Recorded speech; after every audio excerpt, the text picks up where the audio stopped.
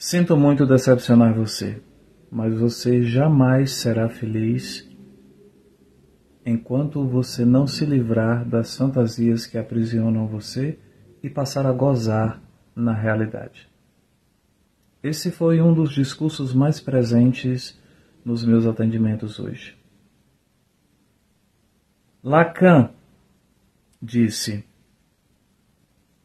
O sofrimento psíquico, todo e qualquer, independente de qual seja, é sempre proveniente da prisão do paciente com as suas próprias ideias e fantasias. O que que Lacan está querendo dizer com essa frase? Ele está querendo nos ensinar que o nosso adoecimento psíquico está ligado a, ao enrijecimento das ideias e fantasias que estão na nossa mente. Ou seja, tudo o que existe na nossa mente nos governa. Eu tenho que ter o corpo X, eu tenho que ter tantos dígitos na conta, eu tenho que namorar pessoa X ou Y. Quando eu tiver 35 anos, a minha vida precisa ser dessa forma. Eu preciso de um homem ou de uma mulher ao meu lado. Eu preciso me casar. Eu tenho que atender as expectativas da minha mãe, do meu pai, da galera toda que fica opinando sobre mim. Eu estou preso a tudo isso. E toda e qualquer realidade de prisão ligada à fantasia, ao enrijecimento das ideias, à não flexibilização, causa adoecimento psíquico. Não é à toa que se vê na sociedade pós-moderna pessoas frustradas, derrotistas, por vezes vitimistas porque no mundo ainda se comportam como um bebê. Fantasia é coisa de criança. Adulto goza com a realidade. É porque eu não tenho dinheiro para ir para um hotel caro ou não tenho aquele corpo. Foda-se tudo isso.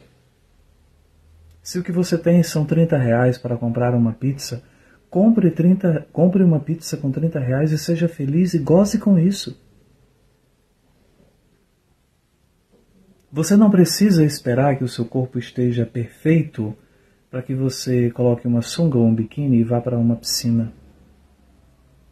Você não precisa esperar que o homem ou a mulher perfeita apareça na sua vida para que você viva a vida em plenitude e realize coisas que são importantes para você.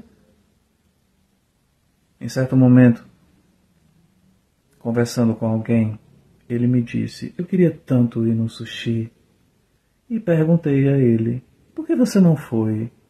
Ele me respondeu: Pois é, eu chamei um, ele não podia, eu chamei o outro, ele também não podia, meus amigos ninguém podia e tal. Então eu o provoquei, embora ele não seja o meu paciente. Por que você não foi sozinho?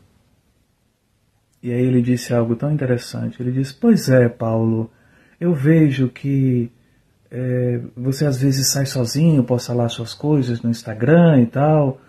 E eu acho tão legal, tão bacana, mas eu não sei, eu, eu, eu a ideia de sair sozinho, ir para um restaurante, uma festa, é, é algo que ainda me é muito insuportável. E aí eu disse para ele, meu caro, eu aprendi a não gozar com a fantasia. Eu aprendi a gozar com a realidade. Além de eu gostar muito de sair sozinho, e me fazer muito bem, eu não posso delegar e entregar a responsabilidade do meu próprio prazer para as pessoas. Eu não posso ficar dependente das pessoas para realizar o que eu quero.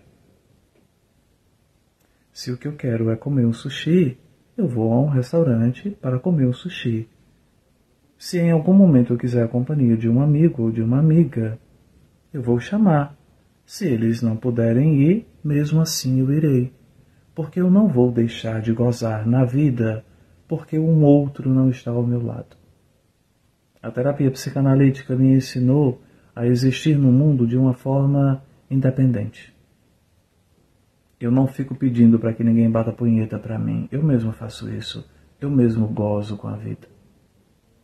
Foi o que disse a ele. E estou trazendo essa reflexão porque, pela minha experiência clínica e quase todas as sessões de hoje convergiram para esse assunto. É muito importante que nós saibamos que nós jamais seremos felizes enquanto estivermos presos às ideias fantasiosas que nós carregamos na nossa mente, que normalmente não são de um adulto, e sim de um bebê chorão. Portanto, matemos o bebê e deixemos que o adulto viva em nós.